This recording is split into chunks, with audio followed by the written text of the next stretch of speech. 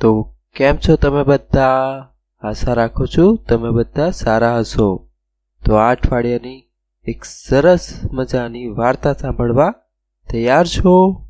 ચાલો એક વાર્તા સાંભળીએ. એક બહુ જ મોટું જંગલ હતું. બહુ જ ઘનઘોર કટાદાર જંગલ હતું.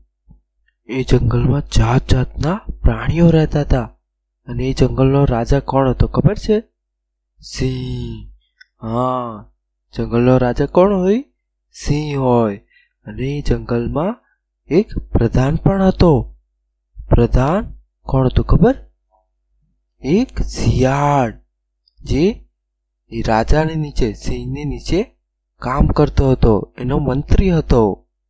અને આ સિંહ તો બધાનો બરાબર ન્યાય કરતો હતો બધાનો બરાબર, બધા ઉપર બરાબર રાજ કરતો હતો બધાની સેવા કરતો હતો અને આખા જંગલના બધા પ્રાણીઓ પણ બહુ જ ખુશીથી રહેતા હતા. હવે એકવાર એક બીજી જગ્યાએથી એક વાંદરો આવે છે અહીંયા, આ જંગલમાં, અને એ વાંદરો તો જાદુગર હોય છે. આ વાંદરો તો એ ભાત ભાત પ્રકારના જાદુ બતાવતો હતો એ એક ફૂલ તોડીને એ ફૂલમાંથી આખા જીવતા પક્ષીને બતાવી દેતો હતો એવો એ જાદુ કરતો હતો અને એ ટોપીમાંથી જાત જાતની વસ્તુઓ કાઢતો હતો સસલા કાઢે, પોપટ કાઢે અને એ રીતે લોકોને છક કરી નાખતો હતો હવે આ જંગલમાં આવીને લોકોને પોતાના હાથમાંથી એ ખાંડનો પાવડર પડતો હોય એવું જાદુ બતાવે છે. અને બધા તો વાહ વાહ કરે છે. બધાને આશ્ચર્ય થાય છે. અને જ્યારે બધા પ્રાણી એ વાંદરાના વખાણ કરે છે, ત્યારે એને શું થાય છે ખબર? એને કમંડ આવી જાય છે. અને એ તો મનમાં મના પોતાનામાં કમંડ કરે છે. અને બધા પ્રાણીઓને કહે છે કે, આ જંગલનો રાજા કોણ છે? મારે એને મળવું છે. ત્યારે બધા પ્રાણી એને કહે છે કે, આ જંગલનો રાજા તો સિંહ છે. અને એ તો બહુ જ સારો છે, દયાળુ છે.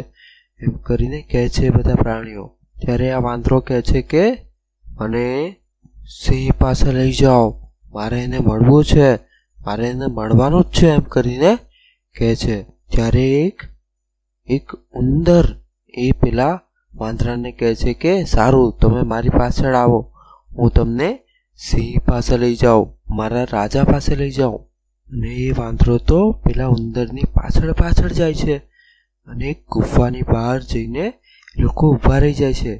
અને ઉંદર કહે છે કે, આ જ છે અમારા રાજાની ગુફા. અને પેલો વાંદરો તો જોરથી બૂમો પાડે છે, હે રાજા, બહાર આવ. હું આજે તને ખતમ કરી નાખીશ. એમ કરીને બૂમો પાડે છે. એટલે પેલો સિંહ તો બહાર આવે છે અને આવીને કહે છે કે શું થયું વાંદરાભાઈ? તમે કેમ બૂમો પાડો છો? તમે આ જંગલમાં નવા લાગો છો. તમને શું તકલીફ થઈ? તો તમે આવી રીતે બૂમો પાડો છો. શું થઈ ગયું? તો વાંદરો કહે છે કે તું શું પોતાને બહુ તાકાતવાન સમજે છે? તું પોતાને બહુ બુદ્ધિવાન સમજે છે? તારા કરતાં વધારે તાકાત મારી પાસે છે. જો હું તને જાદુ બતાવું એમ કરીને પોતાના હાથમાંથી એક ખાંડનો પાવડર પાડે છે ને કહે છે કે જો આવી જ રીતે હું તને પણ મારી નાખીશ, ખતમ કરી દઈશ. એમ કરીને કહે છે. ત્યારે પેલો સિંહ કહે છે કે આ જંગલમાં તો ઘણી બધી સુવિધા છે. તમે આરામથી અહીંયા રહી શકો છો. તો આ સાંભળીને પેલા વાંદરાને વધારે ગુસ્સો આવી ગયો કે તું શું મને અહીંયા રહેવાની પરવાનગી આપવાનો? હું જાતે અહીંયા રહીશ. અને હું તારા પાસેથી રાજાનું પદ છીનવીને તને હટાવીને હું અહીંયા રહીશ. એટલે પેલા સિંહને તો બરાબર ગુસ્સો આવી જાય છે, આ સાંભળીને. ને એ જેવો એને મારવા જાય છે તેઓ તરત પેલા રાજાનો મંત્રી શિયાળ વચ્ચે આવીને રોકે છે કે, રાજાજી, તમે કેમ ગુસ્સે થાવ છો? તમે શાંત થઈ જાઓ. હું આને જોઉં છું, એમ કરીને શિયાળ વચ્ચે આવે છે. અને વાંદરાને કહે છે કે એ વાંદરા કેમ અહીંયા આવીને આવું બધું બોલે છે? તારે મરવું છે કે શું? તું રાજાને આવી રીતે અપમાન કરે છે? તને મારી નાખશે? હું પણ તારી જેમ એક જાદુગર હતો, પણ આ રાજાની આગળ મારું કંઈ ચાલ્યું નહીં. અને એ રાજા તો બહુ જ્ઞાની છે, બહુ તાકાતવાન છે. માટે તું રાજાની માફી માંગીને અહીંયાથી ચાલ્યો જા. તો પેલો વાંદરો કહે છે કે હું કેમ માફી માંગું? ના, હું તો અહીંયા જ રહીશ અને રાજા બનીને જ રહીશ. તો શિયાળ કહે છે કે સારું, તારે રાજા જ બનવું છે? તો ચાલ, આપણે તારા માટે કાલે એક સ્પર્ધા રાખીએ. અને જો તું સ્પર્ધા જીતી જાય, તો તું આ જંગલનો રાજા બનીશ. પણ જો તું હારી જાય, તો તારે રાજાની માફી માંગીને આ જંગલ છોડીને તારે જતા રહેવું પડશે. તો પેલો વાંદરો કહે છે કે, ના ના, એમ કંઈ એવું હું માફી માંગીને જાઉં. એ તો હું જ જીતીશ. એમ કરીને ગુસ્સાથી ત્યાં જતો રહે છે. બીજે દિવસે બધા આખા જંગલની પ્રજા, બધા પ્રાણીઓ એકઠા થાય છે અને બધા જોવા માટે. અને ત્યાં રાજા સિંહ અને પેલું મંત્રી શિયાળ અને પેલો વાંદરો એ બધા પણ ત્યાં આવી પહોંચે છે. અને ત્યાં સામે એક તળાવ હોય છે. હવે રાજા તો એ તળાવને સામે જે સિંહાસન હતું, ત્યાં જઈને બેસી જાય છે. અને આ શિયાળ અને વાંદરો કોમ્પિટિશન કરવા માટે તૈયાર થઈ જાય છે. હવે વાંદરો પૂછે છે કે, બોલ શિયાળ કોમ્પિટિશન માટે શું કરવાનું છે? સ્પર્ધા માટે શું કરવાનું છે?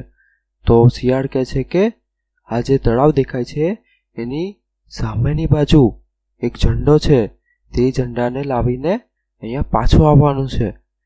તો પેલો વાંદરો કહે છે, અરે બસ, આટલું સહેલું એ તો હું હમણાં કરી દઈશ. એમાં તો હું જ જીતીશ. તો શિયાળ કહે છે કે, અરે અરે, રૂક, રોકાઈ જા રોકાઈ જા, જરા થોભ. આમાં એક શરત છે. તો વાંદરો પૂછે કે, એમાં શું શરત છે? તો શિયાળ કહે છે કે, આમાં જે તળાવનું પાણી છે, એ પાણીમાં ડૂબ્યા વગર પાણી ઉપર ચાલીને તારે પેલી બાજુ જવાનું અને પછી ઝંડો લાવવાનો છે. તો વાંદરો તો વિચાર કરવા લાગ્યો કે એવું તો કેવી રીતે થઈ શકે કે પાણી ઉપર ચાલવાનું? એટલે એ તો મનમાં નક્કી કર્યું કે પહેલાં તો હું આ શિયાળને જ મોકલીશ, પછી હું જઈશ. એટલે મને ખબર પડે કે કેવી રીતે કરે છે. એટલે કહે છે કે પહેલાં તમારે જવાનું. તો શિયાળ કહે છે કે સારું. અને શિયાળ તો એ પાણી પર ચાલતો ચાલતો જાય છે. તરી ઉપર ચાલતો એ રીતે અને પેલો ઝંડો લઈ આવે છે. તો વાંદરો અને બીજા બધા પ્રાણીઓ ચોંકી જાય છે. એ લોકોને નવાઈ લાગે છે. પછી આવે છે વાંદરાનો વારો. હવે વાંદરો તો જેવો પાણી ઉપર ચાલવા જાય છે એવો જ ડૂબી જાય છે. જેમ તેમ કરીને એ તરવાની કોશિશ કરે છે, પણ કંઈ થતું નથી. છેવટે એ તરત જ દોડીને સિંહ પાસે જાય છે અને માફી માંગી લે છે. રાજાને કહે છે કે, રાજા, મને માફ કરો. મેં તમારી આગળ ભૂલ કરી છે. એમ કરીને માફી માંગી છે ને ઉપી પૂછડીએ એ તો આખું જંગલ છોડીને નાસી જાય છે. હવે એ સિંહ પેલા શિયાળના પાસે જઈને એને પૂછે છે કે, આ તે કેવી રીતે કર્યું? તું પાણી ઉપર કેવી રીતે ચાલ્યો? ત્યારે શિયાળ કહે છે કે કાલે રાતે જ્યારે નક્કી થયું, ત્યારે આ વાંદરાને પાઠ ભણાવવા મેં નક્કી કર્યું, કારણ કે આ વાંદરો તો જુઠ્ઠો હતો. એ બધાને જાતું બતાવતો હતો, પોતાના હાથમાંથી ખાંડનો પાવડર પડે એવી રીતે. પણ એ તો એકચ્યુઅલી ખરેખર તો એ એના નખમાં ખાંડનો પાવડર ભરી રાખતો હતો અને પછી એ રીતે બધાની આગળ એ જુઠ્ઠી રીતે બધાને છક કરી દેતો હતો.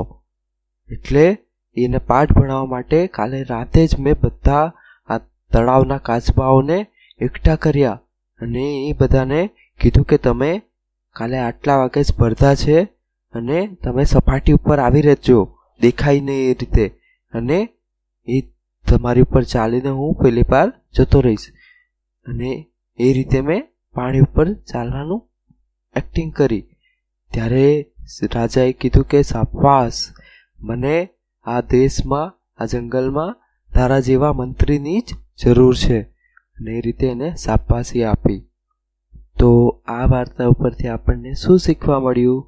કે આપણે પણ નમ્રતાથી રહેવું જોઈએ. પેલા વાંદરાની જેમ ઘમંડમાં અને પોતાને મોટો માનવામાં નહીં રહેવું જોઈએ. કારણ કે ઘમંડમાં રહેવાથી આપણને નુકસાન થાય છે. આપણી લાજ જાય છે. ઇજ્જત જતી રહે છે. અને આપણી નિંદા થાય છે. અને એ રીતે દેવ પણ આપણને પસંદ નથી કરતા. કારણ કે દેવ ગર્વિષ્ઠોની વિરુદ્ધ છે, ઘમંડીઓની વિરુદ્ધ છે. પણ જેમ પ્રભુ ઈસુ નમ્ર થયા, તેમ આપણે નમ્ર થઈએ. પ્રભુ ઈસુ તો રાજાઓના રાજા, આખા સૃષ્ટિનો કરતા બનાવનાર, તો પણ આપણા માટે નમ્ર થઈને આવી ગંદી પૃથ્વી પર ગંદી ગભાણમાં જન્મ લીધો. આ મારા અને તમારા પાપોને લઈ લીધા અને વધસ્તંભ પર ચડાયા તો આપણે પ્રભુ ઈસુના પગલા પર ચાલવાનું છે અને જેમ વચન કહે છે, રોમિયો બાર, રમોનનો પત્ર બાર અને સોળ પ્રમાણે અરસપરસ એક દિલના થાવ તમારું મન મોટી મોટી બાબતો પર ન લગાડો, પણ નમ્ર ભાવે દિનોની કાળજી રાખો. તમે પોતાને બુદ્ધિમાન ન સમજો. તો એ રીતે આપણે પોતાની જાતને નમ્ર કરીએ અને પ્રભુ ઈસુની જેમ ચાલીએ અને ઘમંડમાં ન રહીએ. તો આશા રાખું છું, તમને આ વાર્તા ગમી હશે. આવતા અઠવાડિયે ફરી મળીશું.